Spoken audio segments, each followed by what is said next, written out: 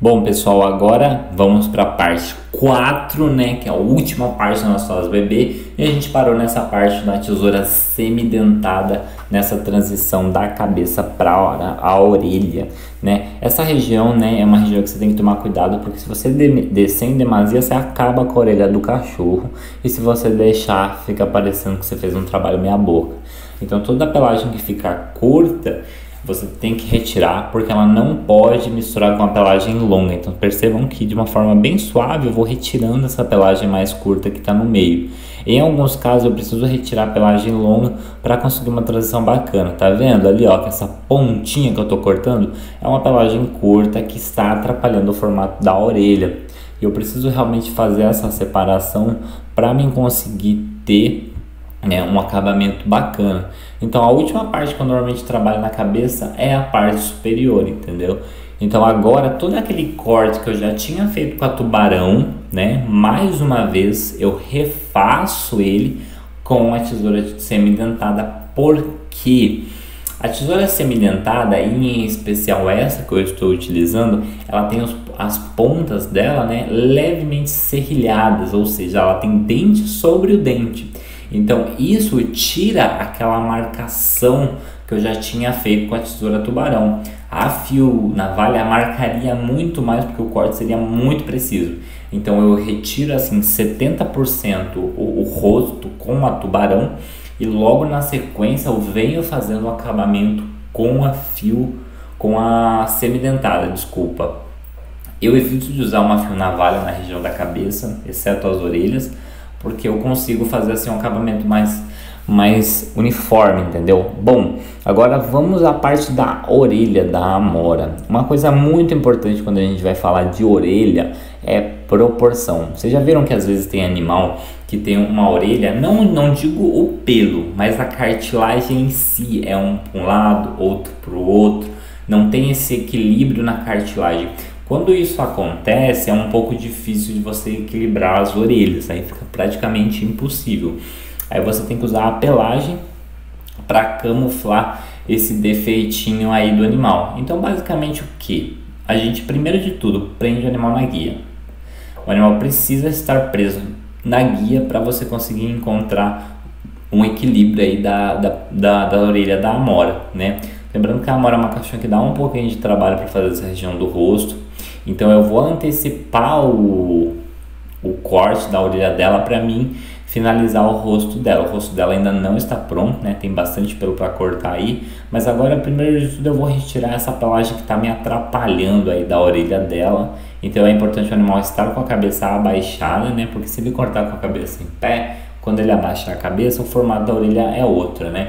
E aí a gente volta ao mesmo ao mesmo ponto de se falar, o animal precisa estar bem posicionado, né?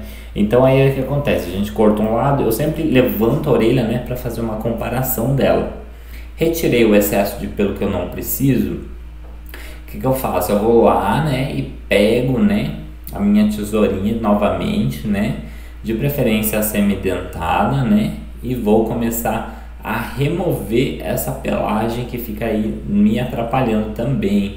Então agora venho de uma forma bem sutil, realmente desbastando a pelagem da orelha. Se eu quiser retirar mais ainda essa orelha, eu posso retirar. Aí realmente é uma questão de gosto e preferência, né? Lembrando que você tem que sempre levar em consideração o que os clientes gostam, né? A proprietária gosta da orelhinha dela mais cheia, mais peludinha, ela sempre fala isso. Então eu vou ouvir o que a minha cliente quer e vou fazer o que ela quer, vou agradar ela, vou trabalhar o gosto dela, né? Lembrando sempre, levando sempre em consideração o benefício que isso pode causar para a Amora, que é a cachorrinha que a gente está tosando aqui no vídeo, né? Então, mais uma vez eu venho, penteio, penteio. Vocês percebem, gente? Né? Não, é, não custa lembrar vocês do pente, né? Eu tô falando tanto aqui desse pente, mas tanto desse pente. Em todos os vídeos que vocês já viram, repito, pente, pente, pente, pente. Porque realmente é isso que cria a diferenciação no acabamento do seu trabalho, né? Então agora eu venho com a tesoura semidentada, né? Realinhando essa orelha. Orelha é uma coisa que a gente pode trabalhar de N formas, entendeu? Você pode deixar ela curta, você pode deixar ela longa. Uma coisa super bacana de se fazer com a orelha é trabalhar realmente com coloração. Você pode passar ali um pó descolorante com uma água oxigenada bem suave, só para você quebrar esse tom amarelado e utilizar um, um, fundo rosado, um fundo azul, fica super bacana, o animal fica muito diferenciado, os clientes adoram isso mas é uma coisa que você só faz para um cliente que tem uma persona que você já conhece, né? Que é tem um comportamento que já é mais habituado com o seu, né? Então agora eu estou retirando realmente as pontas das pontinhas da orelha da amora. Vocês percebem que ficou bastante ponta ali na região da boca, na região dos olhos. E tudo isso vai ser retirado realmente por último, em um último ponto. Então agora a gente vai realmente acertando essa pelagem aí da cabecinha dela porque a gente deixa para fazer o arremate final quando já não tem mais o que se cortar de pelo. Aí a gente só faz realmente polimento, polimento e polimento. Basicamente, isso aí seria um polimento de um rosto, entendeu? Então eu faço realmente isso. Quando vocês forem assoprar o rostinho do animal, tomem cuidado, tá? Com a quantidade de pelo que vocês cortam e assopram, porque às vezes o pelo pode ir dentro do olho do animal, né? No caso a Amora, eu passo sempre colírio nela antes de fazer isso para poder facilitar, porque ela já tem um histórico de problema oftalmológico, então, tanto é que nessa extremidade do rosto a gente normalmente não corta muito. Então vocês lembram que no começo o rosto dela ficou quadrado, aí a gente trabalhou as extremidades e o excesso de pelo, então a gente vai encontrando um formato mais arredondado, né? Então agora basicamente, gente, é a tesoura, não tem mais o que se usar de adaptador, nada aí. Você poderia talvez usar o adaptador na região da, das orelhas, né? Porque isso iria facilitar bastante o, o seu trabalho aí. Mas tudo é uma questão realmente de, de utilização dos equipamentos, né? E tudo mais. É, a, Amora ela tá realmente bem presa na guia para ela não ficar se mexendo. Então eu prendo ela na guia, né? Essa guia é uma guia bem fina, bem suave. Então ela não, não, não estrangula o animal, não aperta ele né? Tem algumas guias que tensionam muito o animal porque essa guia ela baseia no relaxamento. Se o animal faz muita força, ela aperta. Se o animal relaxa, ela solta. Então isso é muito bacana. É uma, é uma guia comprei de uma amiga minha lá do sul, de Caxias do Sul. E eu não troco essa guia por nada. Acho ela super suave. É uma ótima guia para você fazer foto, né? Que ajuda bastante aí também. Agora eu venho fazendo o acabamento final da pontinha da boca Lembrando que eu faço tudo com uma tesoura tubarão. Esse movimento que o cliente fez agora, que foi sacudir, né? Isso é muito bom porque isso levanta as pontas que ficam. Então agora para mim fazer o acabamento fica muito mais em evidência, né? Então eu consigo ver, ah, eu posso tirar mais aqui, posso tirar mais ali. Ah, não gostei do comprimento dessa orelha, vou cortar, que é o que eu vou fazer logo adiante, né? Então agora eu venho com uma tesoura de cabo de plástico, uma tesoura bem simplesinha da Propets também, que é uma tesourinha que eu só uso ela para fazer realmente essas coisinhas. Ela é uma tesoura fio laser, né? Então ela tem um poder de corte bem suave, ela não tem o poder de cortar a pele do animal. Então se o animal passar a língua aqui, as chances de acontecer um acidente são muito menores. O chaple é uma coisa que você tem que tomar bastante cuidado.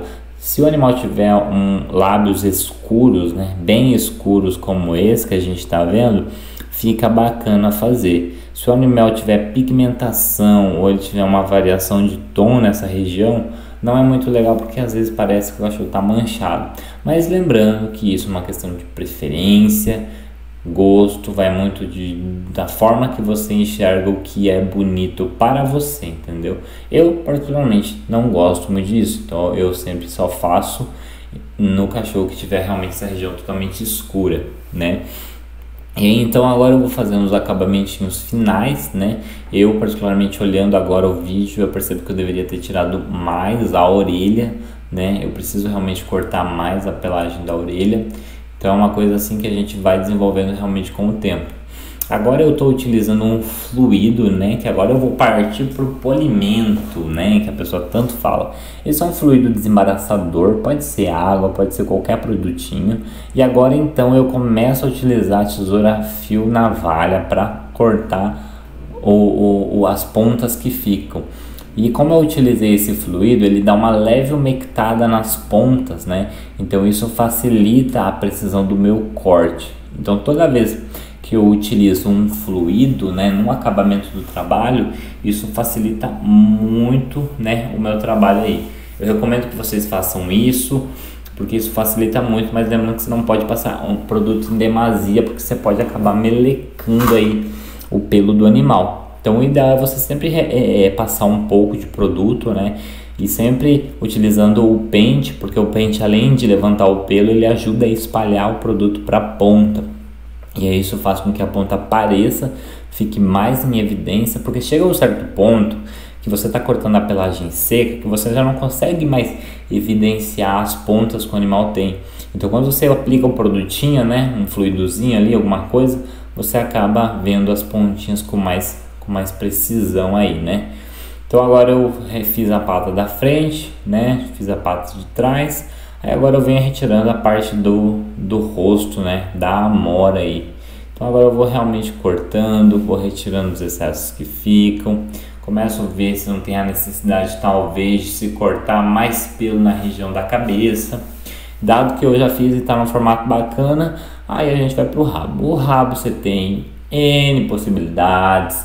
Você pode deixar curto, você pode deixar grande, você pode deixar médio, você pode deixar do jeito que você quiser, entendeu? Você pode deixar super curtinho. Eu particularmente gosto de sempre de ter um equilíbrio. Eu não gosto de rabo grandão no cachorro. Eu só deixo o rabo grandão, grandão mesmo quando o cliente gosta de pintar ou quando o animal realmente tem uma pelagem muito bonita na cauda que fica liso. A amora tem uma pelagem feia no rabo, né? Uma pelagem grossa, pesada. Então, nesse caso, o ideal realmente é cortar. Então, você pode cortar dividindo a, a, a cauda no meio, né? Que nem eu estou fazendo aqui no vídeo. Faz essa divisão e aí você segura na ponta e aí então você vai alinhando. Você pode começar com uma tesoura tubarão é logo depois você transita para uma tesoura semidentada ou fio navalha para finalizar o corte aí da, da cauda do animal. Eu particularmente gosto de tirar bastante nessa região que vocês estão vendo eu cortar agora, porque é uma região que o animal normalmente sempre suja mais, sabe? E lembrando que a mamãe da Amora pediu realmente pra gente limpar essa região, porque a Amora se suja mesmo, então a gente realmente corta, porque eu não sei o que, que a Amora tem, gente. Toda vez que ela dá um cagão, ela esfrega a bunda no chão. A dona mesmo dela fala que não aguenta isso. Ela sai esfregando a bunda pela casa inteira.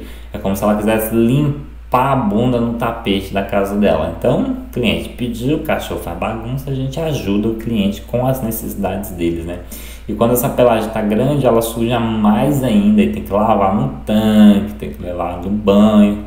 Pra gente é ótimo, né? Porque o cachorro bota pra tomar banho e tudo mais, né? Mas não é a caso. E aí basicamente eu retirei o excesso, pentei novamente no meio e aí eu venho retirando aquela pelagenzinha que fica sobrando. E o legal é você deixar a cauda sempre num formato parecido com aqueles, como que fala, negócio de barco, parecido com rabo de golden talvez, entendeu? Só que não tão grande. E aí então a gente começa a finalizar o nosso trabalho, né? Eu espero do fundo do coração que vocês tenham gostado deste conteúdo. Eu espero que essa aula tenha ajudado vocês. Se você gostou desse conteúdo, não esquece de tirar um print. Um beijo!